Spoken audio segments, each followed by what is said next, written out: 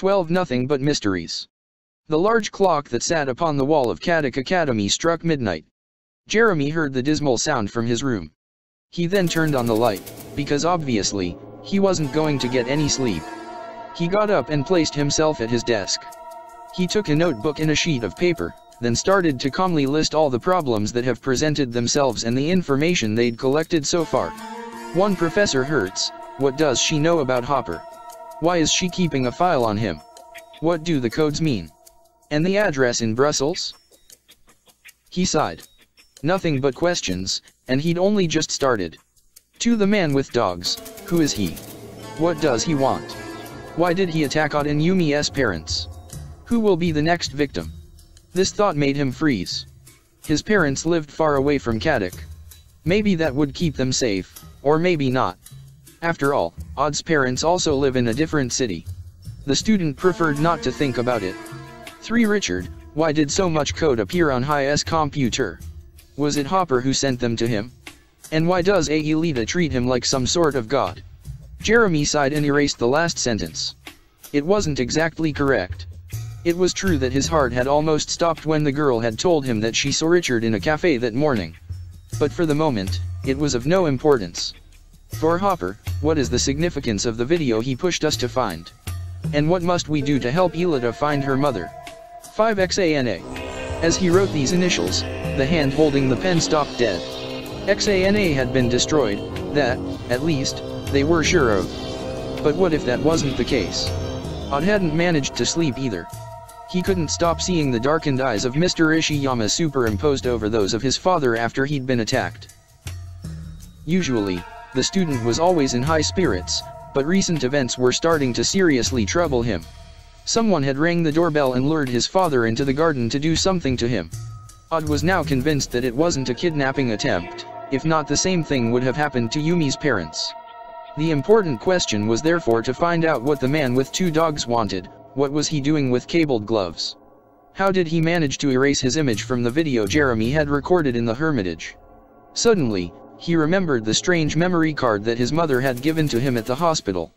He leapt out of bed, then began to rummage through his jacket pockets. He took out the small, black, plastic rectangle. He observed it. Nothing. No writing, just three or four golden marks on one of the sides. Outside, he knew nothing about technical things, but Eva, on the other hand, seemed rather gifted in that area. It was really thanks to her that he'd discovered the image of the man with dogs on the Hermitage surveillance video. So she could surely help him discover what was hidden on this plastic thing. And then, tomorrow was Sunday, an opportunity for him to visit her. He might even be able to meet her parents and stay at her house for a while. Fantastic. He rifled through the mess on his desk to find the scrap of paper on which he'd written Eva's address and phone number. Rue André René. It was only 2 o'clock in the morning. But he still decided to call Jeremy, who immediately picked up. Apparently you haven't managed to sleep either. No Jeremy said. I was in the middle of studying how to force the lock on the apartment for Ulrich and Yumi. Our little computer hacker. Odd laughed. I just wanted to tell you that you won't see me tomorrow morning. I'm going to see Eva. Jeremy's voice immediately became more somber, what do you have in mind? Nothing, nothing, don't worry, hey, Odd, you're not going to do some films about Eva, by any chance. And what if I am? She's a great girl, isn't she? Odd didn't talk about the memory card, because if Jeremy had seen it, he would immediately set to work on it and he wouldn't have an excuse to go to Eva's house anymore. So for that reason, you intend to go behind Jim Morales back again? Jeremy questioned. You really are a genius, Einstein. Odd responded before hanging up. Sunday morning arrived quickly. Dark clouds hung heavy with the threat of rain, but that didn't deter Odd. Rue André René was large and long, bordered by tall trees that shook in the violent wind. Two rows of small, tidy houses with black roofs and wooden walls, all painted white, lined up in front of the boy's gaze. What rotten weather! Odd thought, shivering. Suddenly, Lightning lit up the sky, and a large drop of rain fell onto his nose. Then another, then another. He shot beneath the trees like an arrow, being very careful not to slip on the footpath that had been dirted by sleet in previous days. He then looked for the numbers written on the letterboxes. 30. 28. The rain intensified, and in but a few seconds, he found himself soaked to the bone, his blonde hair stuck to his face, and his clothing weighing a ton. He accelerated again, upset about having to present himself to Eva like this, but he no longer had a choice. It was impossible to return to Kadic in this torrential rain. 18, the 1 and 8 were painted in red varnish. Odd jumped onto the doorstep, protected by a canopy. He rang. No response. He tried again, and afraid of not pressing hard enough, he tried a third time, dr 3 Finally, the door opened. Eva was wearing a tight tracksuit. Odd, she said, smiling. Hi, he responded. I was just passing by, and it started to rain, so, suddenly, he realized that it was only half past eight in the morning. He murmured, feeling uneasy, I haven't woken up your parents, have I? No, no. I'm alone. My parents are at work. Working, on a Sunday. Odd thought to himself. Would you mind if I come in for a bit, to dry myself off, he said, embarrassed. Please. Eva responded. Come in. You're drenched, get undressed. Odd stopped dead, unable to respond, which was rare for him. Get undressed? Did she really just ask him to, undress? Um, would you, by any chance, have some clothes I could borrow from your father? No. He looked all around him. Actually, it seemed like a number of things were missing from this house. Moreover, it was barely furnished. The front door faced a small hallway that led directly into the living room, and an empty room that had nothing but a laptop sitting on the floor. It was the same thing for the kitchen, no sink, no furniture, no oven, and no stove. Four walls and within them, completely empty. Only a few gas and water pipes hanging from the ceiling. As for the boiler, it was just fixed to the wall. Where's the bathroom? Odd asked, astonished. Over there, the girl indicated. At the end of the hallway. The hallway opened onto two empty rooms that didn't even have beds in them. In one of them, there was just a pink suitcase, open, and full of clothes. And in the bathroom, there was still a sink, a toilet, and a towel. Odd used it to fix his hair. When it came to his jacket, sweatshirt, pants, and even his shoes and socks, everything had to be dried. Only his t-shirt remained dry, so he decided to keep it on. He got undressed, took the memory card, wrapped the towel around his waist to hide his underwear and returned to the living room. Eva was waiting for him, seated on the floor with her laptop on her knees. She looked at Odd humorously. You're almost naked, she murmured. I don't think that's very good. Hmm. Me neither. Odd nodded. But with drenched clothing on, I could catch a cold. Wait. Eva stood, disappeared into one of the rooms and came back with a fluoro pink tracksuit. Odd took it, sighing. The tracksuit was very tight and the pants far too short. Nothing like the James Bond look. When she saw him in that getup, Eva laughed at him. He tried to distract her attention, your house's decor is, um, a little refined, isn't it? But he then held his tongue, because after all, what did he know about her family? Anyway, he said to save himself. You've just moved in, it's normal. If you want, you could come spend some time in the dorms, waiting for your stuff to get here, the beds and all that, I'm perfectly fine here Eva responded coldly. But of course, he quickly said. Uh, me too. I like it here a lot. Odd sat near Eva, then showed her the memory card. Eva, I'd like to ask you for help with this thing. I found it, and I don't know how to use it. The girl seized the card and observed it with shining eyes, as if she could see within it. Then, she slipped it into the laptop and typed on some keys. It's just a video, she announced in a neutral voice. Okay, I'm starting it. Odd held his breath as an image appeared on the screen. It was a lovely looking woman, dressed in a white shirt. Her hands and feet were tied to a wooden chair, and thick, red hair fell messily over her shoulders. A man's hand, wearing a black glove, suddenly placed itself in front of the woman, brandishing the front page of a newspaper, The Investigator. The date had been highlighted in yellow, 2nd of May 1994. Odd covered his mouth with his hand, stupefied. Then, he exclaimed, this video is way old. It was just before Aelita went to Lyoko with her father. And this woman must be, red hair, the shape of the nose and eyes, but of course, it was Anthea, Aelita's mother. Held prisoner. The newspaper disappeared from the screen, revealing the woman once again. She began to speak, I'm doing fine, Waldo.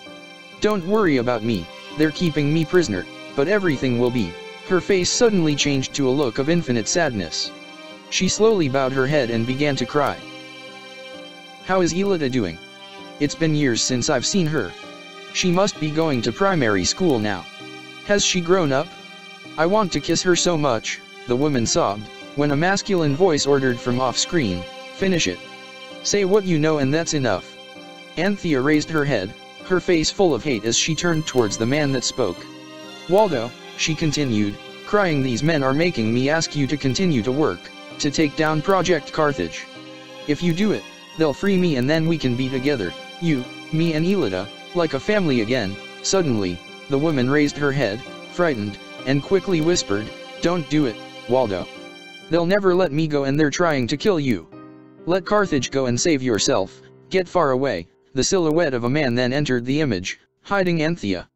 There was a click, then the image disappeared in a shower of sparks, and the video stopped. Odd almost knocked Eva's laptop over. We have to warn Jeremy and Aelita, and show them this video, he cried, leaping up. No.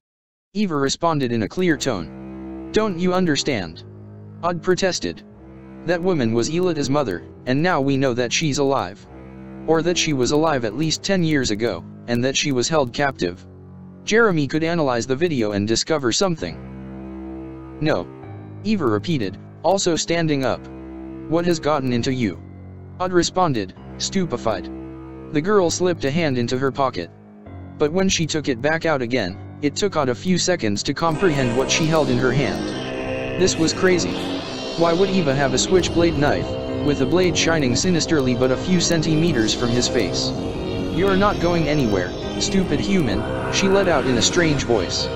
Eva's lips moved, but her voice was no longer her own. It was distorted, as if it had been spoken directly from computer speakers. A masculine voice. A deep one. Odd knew this voice all too well. It was that of their mortal enemy, Xana. 13 The replica Ulrich and Yumi awoke early, also leaving a note for the Ishiyama's friend. She was a kind woman in her 30s, with a slightly hippie look, and who had welcomed them without asking any questions.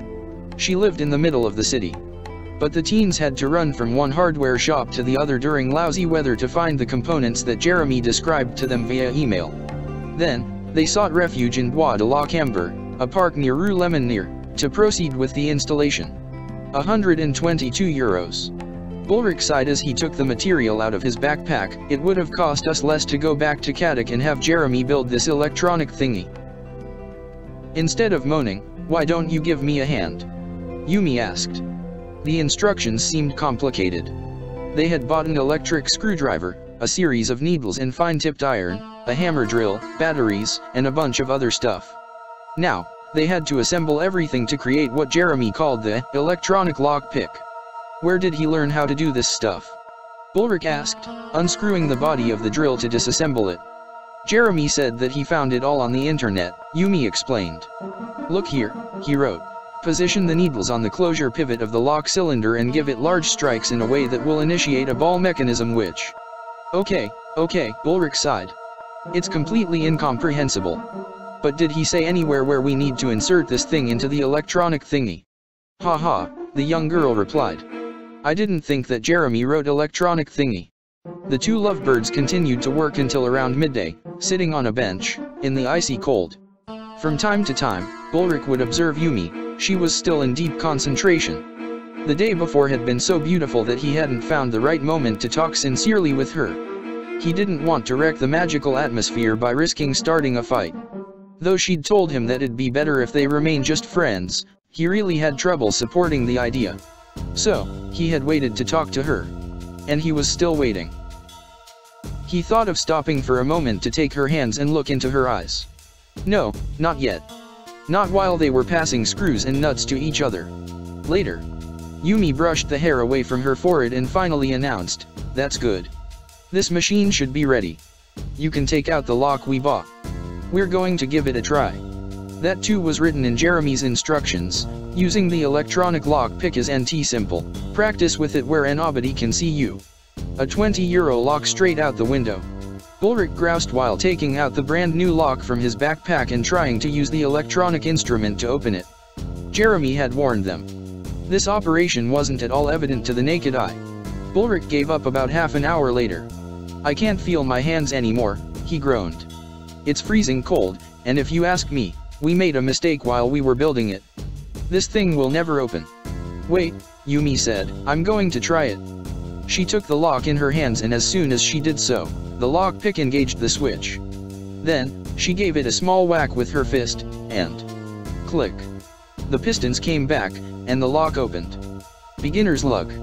Ulrich muttered, annoyed. It's all in the movement, his friend laughed. In any case, now I know that I can become a burglar.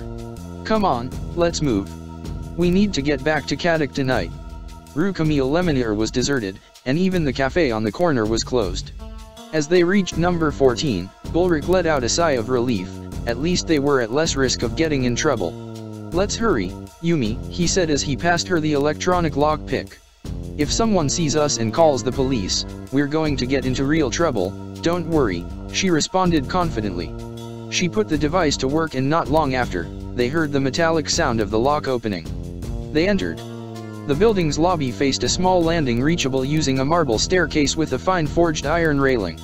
On one side they saw a wooden door, closed, from which a musty smell escaped.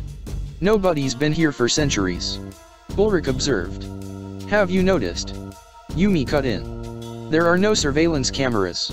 Maybe the owners aren't really secret agents after all, the closed door had no name on it, nor a doorbell. After a brief moment of thought, they decided to investigate the general area. So, they adventured up the staircase. The building was eight stories high and each opened onto a hallway with no windows, arranged with four identical doors with neither numbers nor names. Most of the doors were closed, and the only open ones showed completely empty apartments. Arriving on the third floor, Ulrich and Yumi began to lose hope. And on the sixth, they were even more discouraged. They climbed up to the eighth floor at a running pace, soon ready to return to Kadic without having found anything. Nothing here either, Ulrich sighed, breathless. What do we do now? Try to open each door one by one. Wait, that one seems different to the others, look. Yumi breathed, indicating to a door a little further away. Ulrich approached it. Even though it was made of dark wood like the others, it had a more solid and massive aspect, and the lock seemed to be reinforced. They examined it for a moment, then decided to try their device. Yumi's instinct may have been right. They tried the lockpick three times, and the lock opened. Ulrich opened the door wide. Both of their jaws practically dropped to the floor. The apartment was just one large room that resembled an old office. The floor was covered with thick, beige carpet, and on the walls, there was horrible wallpaper in the same color. Dozens of screens and electronic equipment, as well as other giant computers, sat on an immense steel table. The equipment was so cumbersome that it covered up part of the only window. When Ulrich advanced, a thick cloud of dust rose from the carpet, making him sneeze. He approached the table.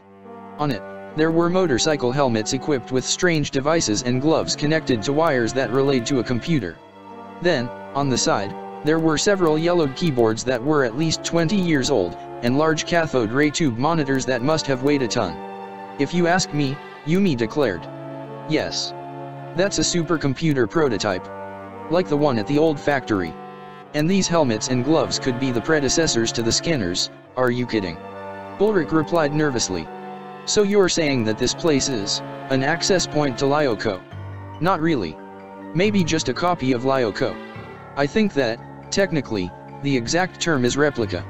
Yumi moved a large stack of paper from the desk, and freed a large black box adorned with a large lens on the front.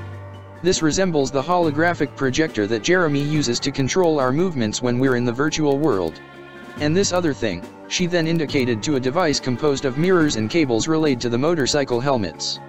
This resembles the electronic thingy, as you call it, and it's mounted on the scanners at the factory. Ulrich sat on the floor and ran his fingers through his hair, annoyed. That's crazy, he exclaimed. What do you propose we do? Seems clear to me. Yumi responded, winking at him. Turn everything on and see if I was right. But, if it really is a replica, like you say, Ulrich spluttered, X.A.N.A could be inside it. I don't think so, his friend replied. When Hopper sacrificed himself, he must have destroyed XANA in all his forms, right? And then, in any case, we can leave the virtual world at any time by destroying these devices. Yumi was very convincing. Ulrich ended up agreeing. In Kadic's cafeteria, Aelita quickly finished a glass of milk, then stood up. Jeremy hadn't finished eating. Where are you going? he asked. Richard is waiting for me in the cafe we went to yesterday, the young girl blushed. We have to continue our discussion. Jeremy felt his chest tighten, I don't understand what you find so interesting about him. Come on, Jeremy. He was a classmate. He knew me before this whole thing started, before Lyoko and the supercomputer. He always came over to my place, and he knows everything about a time in my life that I don't remember anything about. Yes, but well, Jeremy muttered. Tell me, you aren't a little, jealous, by any chance, she said with a small smile. Jealous, me? Are you kidding? Jealous of that fool who doesn't even know how to turn on a computer, and who, don't exaggerate, she retorted. Okay, excuse me, but I have to go. I can't be late. Jeremy watched Aelita and her tuft of red hair leave the cafeteria. He ended up eating all alone. Suddenly, he realized that Odd hadn't shown up for lunch, which was very strange, even unbelievable, seeing as he never misses a meal. Where did he go? With the storm that had hit the city, it was probable that he had gone out, and after all, Odd was a little wacky. Jeremy had no desire to remain by himself in the cafeteria. So he quickly grabbed an apple and returned to his room. He did indeed have the intention of studying the strange Hopix codes. With a little effort, he could maybe learn what they're for. He entered his room and remained immobile. Petrified, the dossier. It was no longer on his desk. And he hadn't even made a copy. He inspected the lock on the door, no trace of a break-in.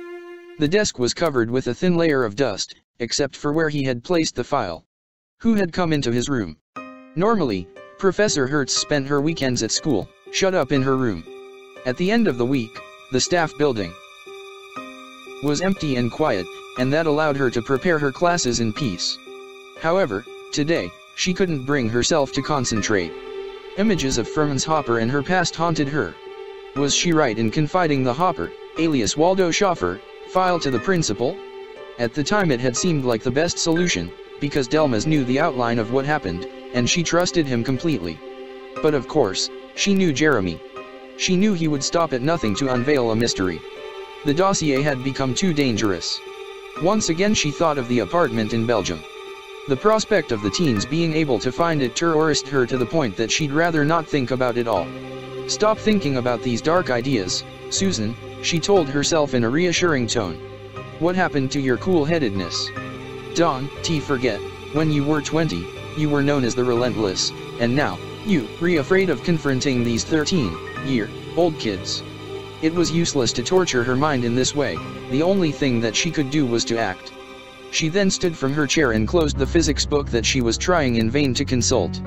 Then, she took the copies of the keys for the principal's office that she had secretly hidden in a drawer, and moved to exit the room.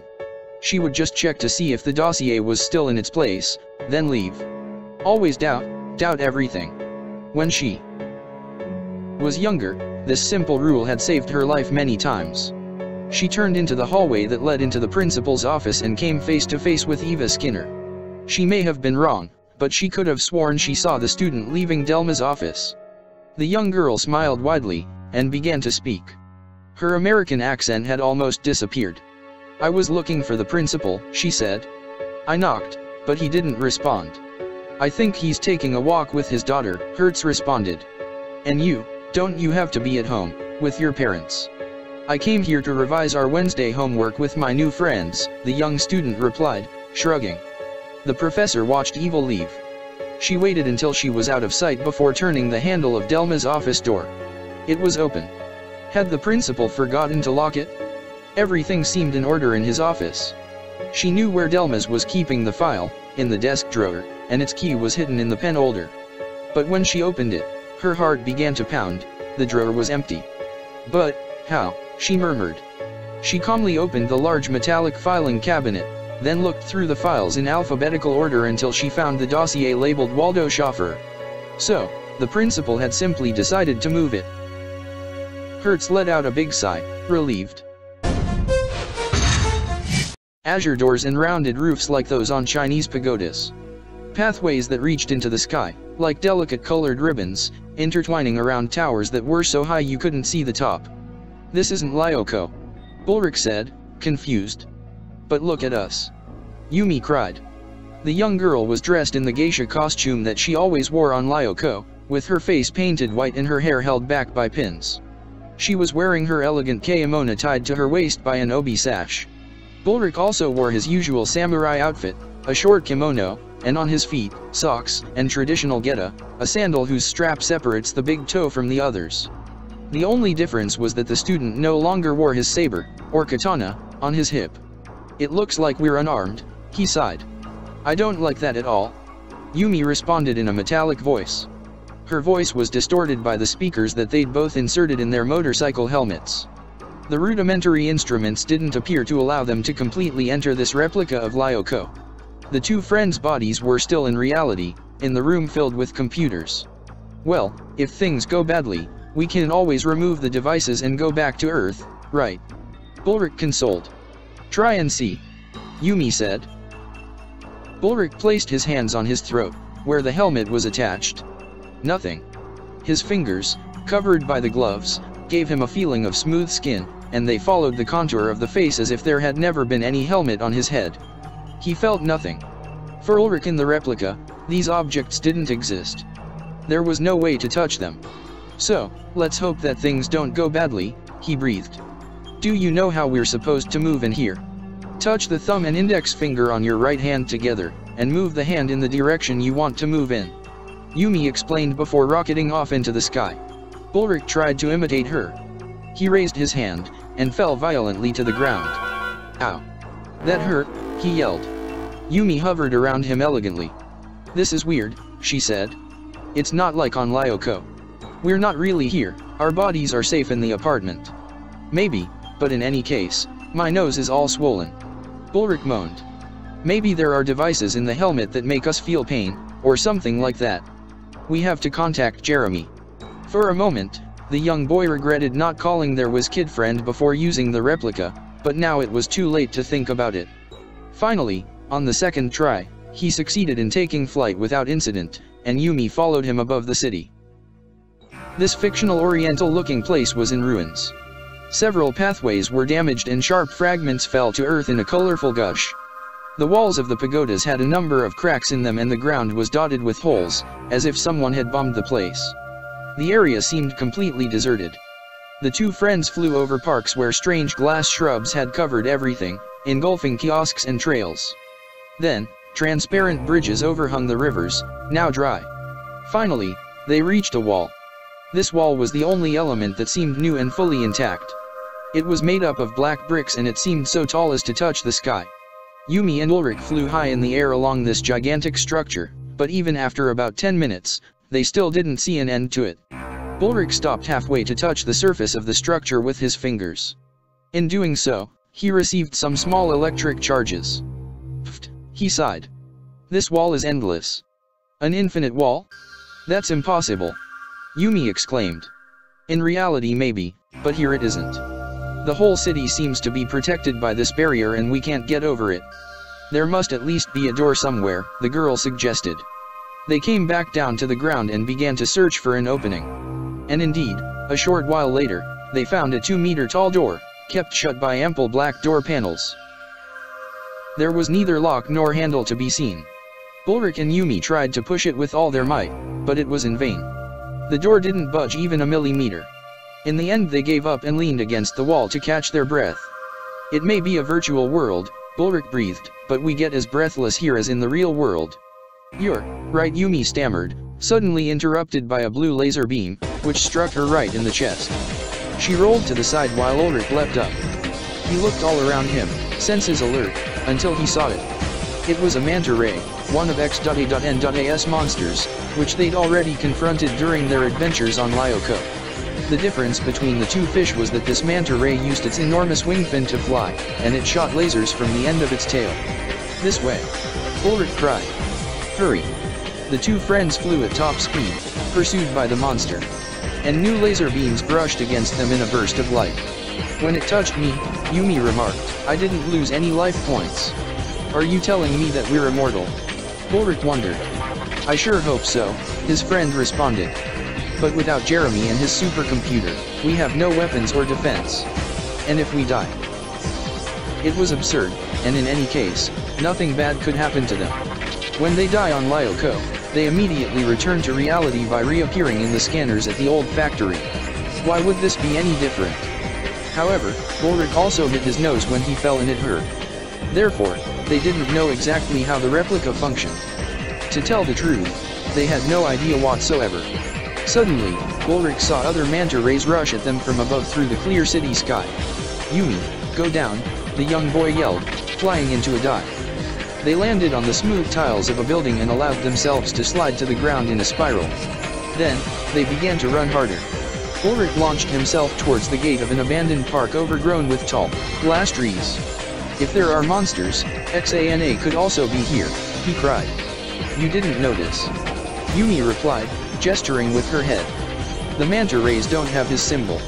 They don't have the eye of XANA like on Lyoko. Probably, but they're still shooting at us. Ulrich breathed. The two friends got through the iron gate and flew between the shrubs at low altitude. They were tortuous and thorny, and a funny green azure color. Suddenly, Yumi stopped short, Ulrich fell on top of her, and brought them both to the ground. Then, they jumped up. What happened? Ulrich cried. Did you see a ghost or what? Yumi didn't respond, but signaled for him to look forward. The student held his breath, Professor Hopper was there, in front of them. No, the girl murmured. That can't be him, not really. It's surely a copy. A replica of Hopper, the professor's face was framed by a beard and a thick pair of glasses. Aelita's father seemed translucent and the friends could see right through him, like a ghost. He was wearing a lab coat and had his hands in his pockets. When he saw them, he smiled widely. Children, at last, he exclaimed. I've been waiting so long for children to come here. Come closer. Hopper gestured to them with his head, then disappeared behind a shrub. Ulrich and Yumi followed him, but when they got to the other side of the tree, the ghost had already disappeared. Suddenly, a laser hit a branch above their head, sending down a rain of glass leaves that broke loudly upon contact with the ground. The two friends watched, then fled across the park. The manta rays were now 20 in number, and encircled the city. And as soon as they saw the teens, they rushed towards them. What do we do? Ulrich asked, worried. I'm afraid that... Yumi couldn't finish her sentence.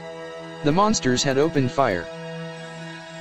If only Anima would stop crashing, I would have more fun editing this. And I hope I don't get copywritten for the updated cutscenes.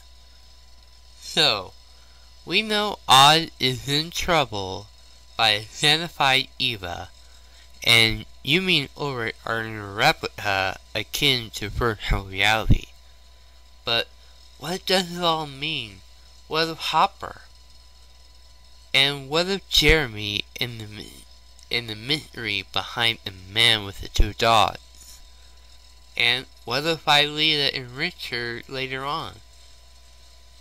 Guess more mystery might be solved in the next episode. So comment, like, and subscribe if you want to stay tuned to the next episode of Code Lyoko Book Reading. And I'll see you all later.